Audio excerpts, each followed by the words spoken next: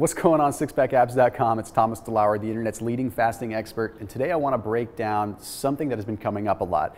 Uh, in light of the Science Based Six Pack Fasting Program that was released, there have been a lot of questions about how you can get through a fast a little bit easier and some of the things that you can do to further enhance the effects of your fast, or if you're doing the Science Based Six Pack Program, what you can do to enhance that. So let's talk about three herbs that you can use during your fasting period that are going to help you out a little bit.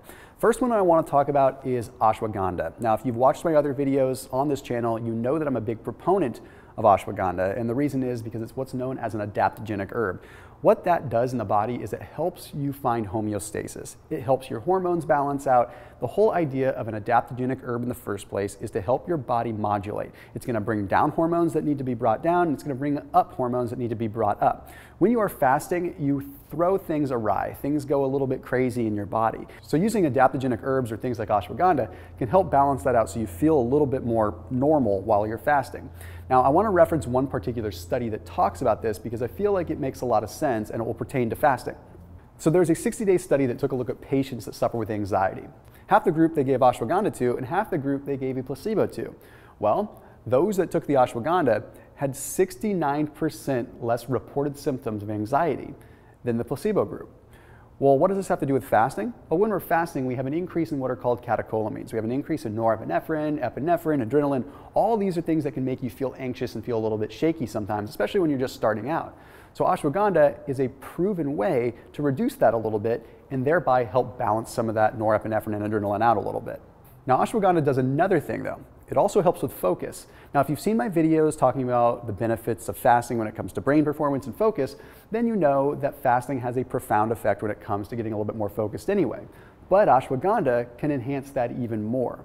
You see, there are even some studies that took a look at rats that had illnesses that were affecting what's called spatial awareness. So they had spatial impairment, so spatial memory impairment, meaning they weren't able to access certain parts of their brain that particularly had to do with memory. Now, memory and focus go hand in hand. So if you were to take ashwagandha, like in this study, they found the rats that took ashwagandha had significant improvements in their spatial awareness. What does this mean for you as a faster? It means that you're going to have more focus and it means that you're going to be able to have a lot more memory and be able to enhance the benefits of the fast as is. Now, when you're fasting, your body is utilizing what's known as beta hydroxybutyrate as a predominant fuel source, which can cross through the blood brain barrier and give you great mental performance as is. But when you factor in the balancing act of ashwagandha, then you really get hyper focused. So it's a great additive to fasting if you're trying to boost your mental performance a little bit, or if you work in a job where you actually have to focus and can't just slack off all day. The next herb that I want to talk about is Rhodiola rosea. Rhodiola rosea is very similar to ashwagandha, but also quite different. It's similar in the sense that it is an adaptogenic herb as well. It's going to balance out quite a few things, but there's some other components of Rhodiola rosea that make it so unique to fasting. It can actually help increase your effect of fat burning during a fast because it contains something known as rosavin. And what this rosavin does in the body is it helps stimulate the production of what is called hormone sensitive lipase. Hormone sensitive lipase is the enzyme that is secreted when you get into a fat burning state, when your body starts driving the adipose tissue into fatty acids to be utilized as a source of fuel. Now, there was one study that was done at Georgian State Hospital that took a look at 130 overweight patients, and they gave half of the group rhodiola rosea, and the other half of the group they gave a placebo to.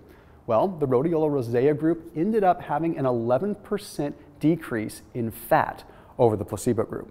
That rhodiola rosea is pretty powerful for just being an adaptogenic herb. And when you sprinkle it into the effects of fasting, you get a nice exacerbated fat burning effect.